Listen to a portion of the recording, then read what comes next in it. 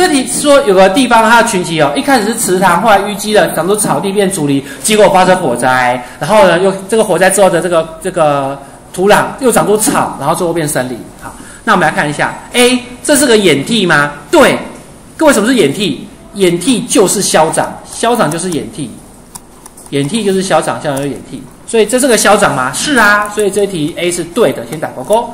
好，B 选项，这个过变化过程是渐进缓慢的连续性改变，是的。呃，我们的生态系有在时间上面的消长是连续的，在空间上的分布也是连续的啊，所以这是 A 跟 B 都是对的。好，C 选项，那在这个区这个消长过程当中，有经过几种巅峰群集，只有一种就是森林。为什么一种呢？大家前面变成竹林的时候，它有没有可能继续往下变成别的森林？有可能哦，就就烧起来了。所以竹林可能还不是巅峰群集，它就火灾了。所以到最后是森林，所以它的巅峰群集只有一种，而不是每个都巅峰群集。每一个前面这几个都是所谓的先驱群集或是过渡群集，那只有到最后一个阶段才叫做巅峰群集或叫极象。极象就是最后的状态。所以这里 C 是错的。好，单选题十三题到这里。